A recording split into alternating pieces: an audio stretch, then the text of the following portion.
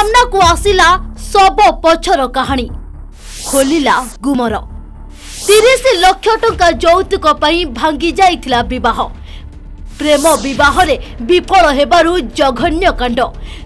ଯୌତୁକ ପାଇଁ ପ୍ରେମିକାର ଜୀବନ ନେଲା ଯବାନ ପ୍ରେମିକ। ଫେସବୁକରେ ହେଲା ପ୍ରେମ। ପରସ୍ପରକୁ ଖୁବ୍ ଭଲ ପାଉଥିଲେ ଉଭୟ ପ୍ରେମିକ ଓ ପ୍ରେମିକା। ଉଭୟଙ୍କର ଜାତି ସମାନ ଥିବାରୁ ବିବାହ ପାଇଁ ଦୁଇ ପକ୍ଷର ପରିବାର ରାଜି ମଧ୍ୟ ହୋଇଥିଲେ। ହେଲେ ବିବାହ ପାଇଁ ଯେତେବେଳେ ପ୍ରେମିକର ପରିବାର ଲୋକେ ଯୌତୁକ ମାଗିଲେ ସେତେବେଳେ ପ୍ରେମିକାର ବାପା ପ୍ରସ୍ତାବକୁ ମନା କରିଦେଇଥିଲେ। ଆଉ ପ୍ରେମ ବିବାହରେ ବିଫଳ ହେବାରୁ ନିଜ ପ୍ରେମିକାକୁ ଘରୁ ଡାକି ନେଇ ତାକୁ ନିର୍ମମ ଭାବେ ହତ୍ୟା କରିଦେଇଥିଲା ପ୍ରେମିକ। ଏହି ହତ୍ୟାକାଣ୍ଡ ବଲାଙ୍ଗୀର ଜିଲ୍ଲା ସିନ୍ଧେଇକେଲା ଥାନା ସୁଣ୍ଡିମୁଣ୍ଡା ଗାଁରେ ଘଟିଛି ଘଟଣାର ମାସେ ପରେ ପୋଲିସ ପ୍ରେମିକକୁ ଗିରଫ କରିଛି ବ୍ରହ୍ମପୁରର ସନ୍ତୋଷ ସାହୁ ଆର୍ମିରେ ଚାକିରି କରେ। ସୂର୍ଯ୍ୟକାନ୍ତିଙ୍କ ସହ ଫେସବୁକରେ ତାର ପ୍ରେମ ସମ୍ପର୍କ ଗଢ଼ି ଉଠିଥିଲା। ପ୍ରେମ ପରେ ଉଭୟ ପରିବାର ବାହାଘର କରାଇବା ପାଇଁ ରାଜି ହୋଇଥିଲେ। ତେବେ ବିବାହ ବାବଦକୁ ତିରିଶ ଲକ୍ଷ ଟଙ୍କା ଦେବାକୁ ଦାବି କରିଥିଲେ ସନ୍ତୋଷର ମା।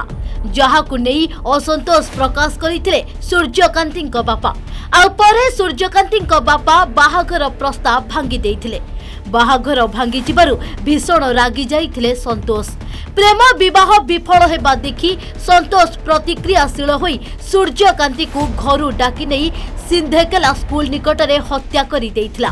ପାଖାପାଖି ଏକ ମାସ ଧରି ପୋଲିସ ସନ୍ତୋଷକୁ ଖୋଜାଖୋଜି କରୁଥିଲା ଆଉ କିଛି ଦିନ ତଳେ ସନ୍ତୋଷକୁ ପୋଲିସ ଅଟକ ରଖିଥିବା ଜଣାପଡ଼ିଥିଲା ଆଉ ଆଜି ତାକୁ ଗିରଫ କରାଯାଇଛି ସୂଚନାଯୋଗ୍ୟ ଗତବର୍ଷ ଡିସେମ୍ବର ନଅ ତାରିଖରେ ପୋଲିସ ବଲାଙ୍ଗୀର ଜିଲ୍ଲା ସିନ୍ଧେକେଲା ଥାନା ସୁଣ୍ଡିମୁଣ୍ଡା ଗାଁରୁ ଜଣେ ଯୁବତୀଙ୍କର ଗଳିତ ମୃତଦେହ ଉଦ୍ଧାର କରିଥିଲା ସାଇଣ୍ଟିଫିକ୍ ଟିମ୍କୁ ମିଳିଥିବା ସୁରାଗରୁ ତଦନ୍ତ କରିବା ପରେ ମୃତ ଯୁବତୀ ଜଣକ କଳାହାଣ୍ଡି ଜିଲ୍ଲା ଭବାନୀପାଟଣା ସହର ଶକ୍ତନଗର ପଡ଼ାର ଦୁର୍ଗା ସାହୁଙ୍କ ଝିଅ ସୂର୍ଯ୍ୟକାନ୍ତି ସାହୁ ବୋଲି ଜଣାପଡ଼ିଥିଲା।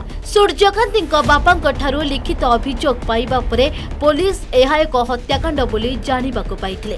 ସୂର୍ଯ୍ୟକାନ୍ତିଙ୍କୁ ତାଙ୍କ ପ୍ରେମିକ ହତ୍ୟା କରିଥିବା ନେଇ ଜାଣିବା ପରେ ପୋଲିସ ସନ୍ତୋଷକୁ ଗିରଫ କରିଛି। ଗିରଫ ପରେ ସନ୍ତୋଷକୁ କୋର୍ଟ ଚାଲାଣ କରାଯାଇଥିଲା। କୋର୍ଟରେ ଜାମିନ ଆବେଦନ ଖାରଜ ହେବା ପରେ ତାକୁ ଜେଲ୍ ପଠାଇ ଦିଆଯାଇଛି।